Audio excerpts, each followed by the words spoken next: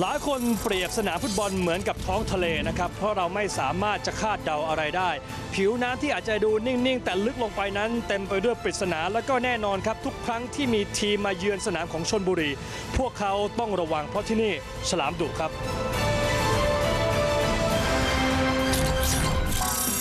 ฉลามชนประกาศเสมอว่าเขาต้องการเล่นบอลสไตล์ 3 รอ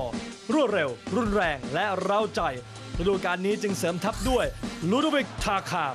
กองหน้า Cameroonian จากพัทยา กองหน้าวัย 28 นี้เป็นเจ้าของรางวัลดาวซัลโวสูงสุดไทยลีกเมื่อ 2 ปีที่แล้ว โดยซัดไปถึง 17 ประตู เท่านั้นไม่สะใจฉลามชนโกอินเตอร์กระชากตัวโทมัสดอสเซวี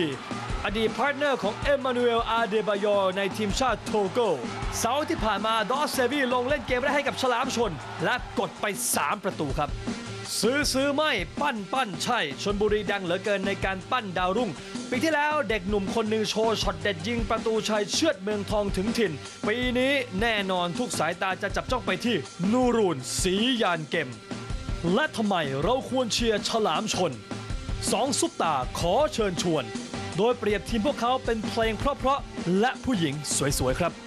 หากเปรียบชนบุรี FC เป็นเพลงเพลงเอ่อเอ่อใจสั่งมาครับผมของพี่เสกโลโซครับ เราเหมือนเล่นให้กับแฟนบอลแล้วก็เราเล่นด้วยใจแล้วก็เขาเขามาดูเราเล่นให้เขาใจสั่งมาให้เต็มที่ ถ้าเปรียบชลบุรีเป็นผู้หญิงเธอคนนั้นมีลักษณะเสน่ห์ของเธอคืออะไร และเหมือนใครพูดชื่อมาเลย ก็ถ้าเหมือนนะครับ ผมบอกให้เลยเขาก็เหมือน เหมือนแอนทองผสมครับ อ่าเพราะอะไรฮะ เพราะว่าทุกคนอยากดูแอนทองผสมเล่น เออ ก็เหมือนที่อยากดูชนบุรีเล่นนะครับในเมืองไทยใครก็อยากดูแอนทองผสมเล่นละครตุนก็เหมือนกันที่ชนบุรี ทุกคนก็อยากดูชนบุรี ไปที่ไหนเรามีแฟนคลับทั่วประเทศครับผม มืออาชีพ บ้าบอลเชื่อใจฝีเท้าไทย นี่คือชนบุรีครับ